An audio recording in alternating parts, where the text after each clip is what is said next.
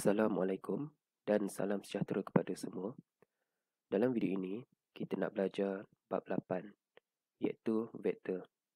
Standard kandungan 8.1 vektor. Standard pembelajaran 8.1.1 membanding beza dan mengenal pasti vektor dan skala. Dalam kehidupan seharian, terdapat pelbagai kuantiti yang mempunyai magnitude dan arah serta kuantiti yang mempunyai magnitude sahaja tanpa mempunyai arah. Kuantiti yang mempunyai magnitude dan arah dikenali sebagai kuantiti vektor. Manakala kuantiti yang hanya mempunyai magnitude sahaja tanpa mempunyai arah dikenali sebagai kuantiti skala. Magnitude bermaksud nilai berangka sesuatu kuantiti. Contohnya, jarak, jisim, luas, isi padu, masa, suhu dan sebagainya. Arah pula bermaksud utara, selatan, timur, barat, atas, bawah, bearing 101.56 darjah dan sebagainya. Contoh kuantiti vektor ialah halaju. Ya. Halaju sebuah kereta ialah 90 km sejam ke arah timur. Jadi dapat diperhatikan halaju mempunyai magnitude dan juga arah. Contoh kuantiti skala ialah luas. Contohnya, luas sekeping jubin ialah 120 cm persegi. Jadi luas dia hanya mempunyai magnitude sahaja tanpa mempunyai arah. Kuantiti yang tidak melibatkan vektor dan skala, contohnya tekanan, ketegangan dan kekonduksian logam.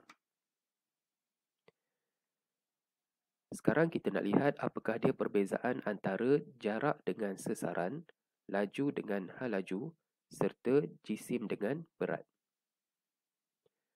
Seperti yang telah kita pelajari tadi, kuantiti skala bermaksud dia ada magnitude sahaja, manakala kuantiti vektor dia ada magnitude dan arah. Jarak adalah suatu kuantiti skala kerana jarak dia hanya mempunyai magnitude sahaja. Jarak bermaksud jumlah panjang lintasan yang dilalui oleh objek dalam suatu gerakan. Contohnya, kita ada jarak daripada titik A ke titik B sejauh 6 km, daripada titik B kepada titik C sejauh 8 km. Maka jumlah jarak dari titik A ke titik B ke titik C berjumlah 14 km. Maka jarak dia adalah kuantiti skala kerana dia hanya mempunyai magnitude sahaja tanpa arah. Sesaran pula adalah kuantiti vektor kerana sesaran dia mempunyai magnitude dan arah. Sesaran bermaksud panjang tembereng garis lurus paling pendek antara titik awal dengan titik terminal dan melibatkan arah dari satu titik rujukan. Titik awal adalah titik A, manakala titik terminal adalah titik C.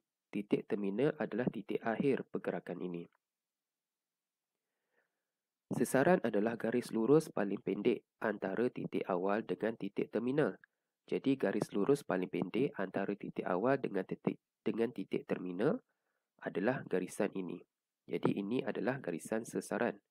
Di mana sesarannya adalah 10 km ya. Kita perolehi daripada dengan menggunakan teorem Pythagoras. Maka sesaran A ke C adalah 10 km ke arah timur laut.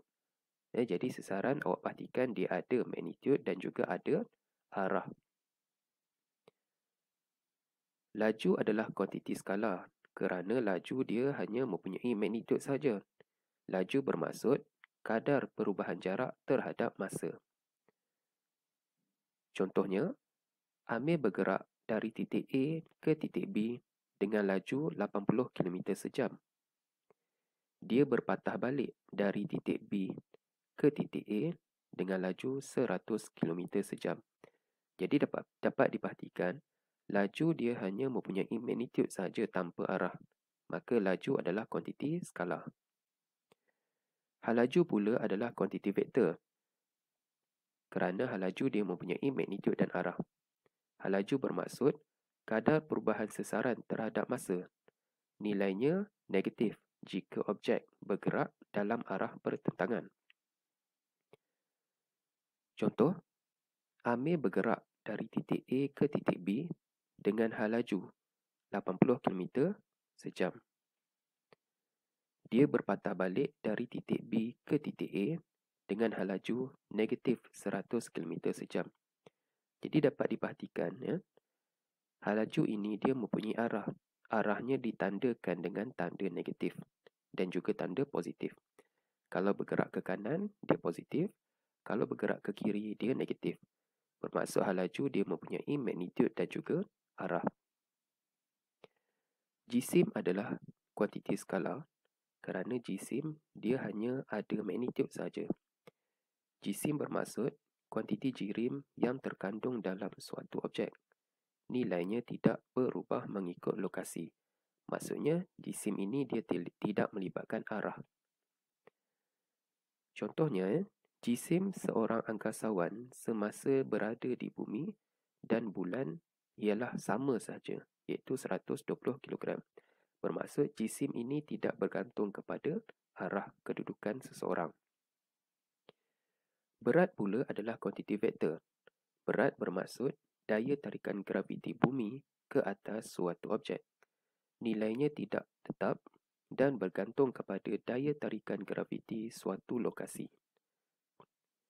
Ya, berat seorang angkasawan semasa berada di bumi ialah 1200 Newton manakala di bulan ialah 200 Newton. Bermaksud, berat seseorang itu dia bergantung kepada arah kedudukan seseorang. Baik, kita lihat contoh satu. Nyatakan sama ada setiap kuantiti berikut ialah kuantiti vektor atau kuantiti skala. Berikan justifikasi anda. A. Mikael berjalan kaki dari rumah ke kedai runcit sejauh 1 km. Adakah dia kuantiti skala ataupun kuantiti vektor? Okey, ini adalah kuantiti skala ya. Ini adalah jarak eh. Dia adalah kuantiti skala kerana dia hanya mempunyai magnitude sahaja ya. B sebuah kereta dipandu dengan kelajuan 90 km sejam ke arah selatan. Okey, ini jelas menunjukkan bahawa ia adalah kuantiti vektor eh? kerana dia ada magnitude dan juga arah eh? C suhu badan Alicia mencecah 38 darjah Celsius adakah dia kuantiti vektor ataupun kuantiti skala Okey, suhu adalah kuantiti skala kerana dia hanya mempunyai magnitude sahaja tanpa arah faham ya jadi sila buat latihan di dalam buku teks muka surat 241 latih diri 8.1. Sekian, terima kasih.